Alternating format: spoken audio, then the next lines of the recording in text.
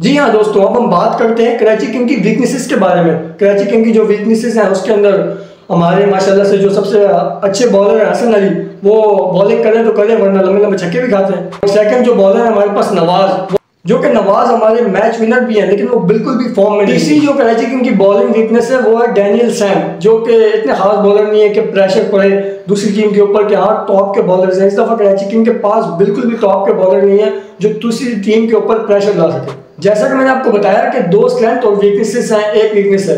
तो हमारे कराची किंग हमारे कराची किंग की टीम के अंदर कोई ऐसे खास बैट्समैन कोई ऐसे खास बॉलर नहीं है जो दूसरी टीम के ऊपर एक प्रेशर और एक धावा बना सके।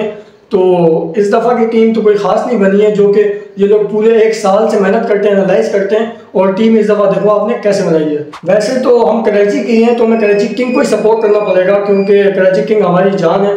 इतनी खास टीम तो नहीं बनी, लेकिन हम सपोर्ट इंशाल्लाह उसको ही करेंगे, दुआ करेंगे कि वो जीत जाए। और अगर आपको हमारी आज की वीडियो पसंद आई हो तो लाइक शेयर सब्सक्राइब और बेल आइकन का बटन दबाना मत भूलिएगा। अपने इस दोस्त को इजाज़त दीजिए, अल्लाह हाफिज़।